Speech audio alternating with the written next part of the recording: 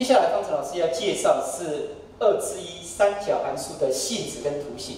好，首先呢，先要介绍的是利用弧度来表示弧长。好，一个圆里面如果半径是 r，那角 POQ，POQ 这个角度啊是西塔弧度的话，那这个弧长呢就是 r 西塔。其实这个我们在以前已经有讲过了，好，在广义角的时候已经讲过了。那么回忆一下以前讲说弧度是什么？弧度就是说，如果你是半径是 r，如果你的弧长也是 r 的时候。那这个角度就是一弧度。如果你又来一个弧长是 r，那这个也是一弧度。所以如果两个你的弧长是两个 r，那你的角度就是两弧度。同样，如果你是三个 r，好，弧长三个 r，那你就是三弧度。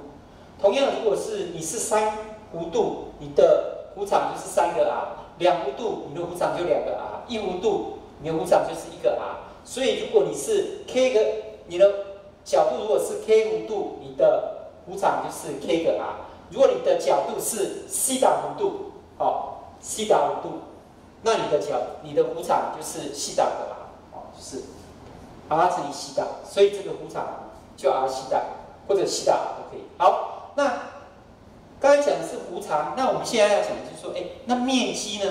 这个扇形的面积呢？好，这扇形的面积的话，我们。还记得说，哎，这个一个圆呢，它的圆周长是二派 r。那二派 r 所对应到的这个圆心角应该是几弧度呢？就是西大个 r，那是多少个 r？是二派的 r。所以你的圆心角应该是对应到是二拍。可是一个圆周，你这个圆形角就是绕一圈，所以绕一圈就是二拍。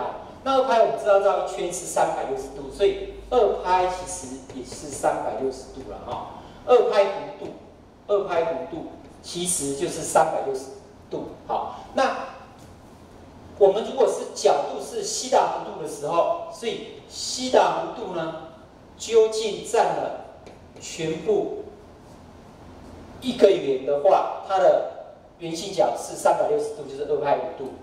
那么应该你现在。扇形的面积会占整个圆，圆面积是派 r 平方，这比例是一样的。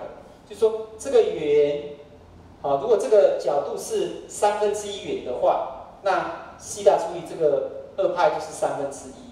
那你这个 a 这个扇形面积也要占整个的三分之一，所以这个比例会相同。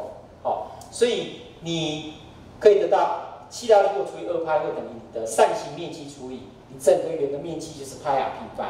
好，那所以我们要求这个的话，两边可以乘以什么？派 r 平方。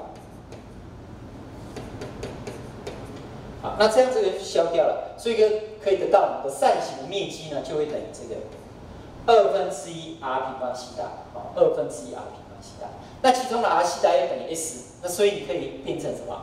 二分之一的 r s 啊 s s r 好，或者 r r s 啊。其中的 r 西大变成 s，好，所以二分之一的 r s 或者 s r 都可以，好，所以你的扇形面积就是二分之一 r 平方西大，或者二分之一 r 西大，这样看看有没有问题。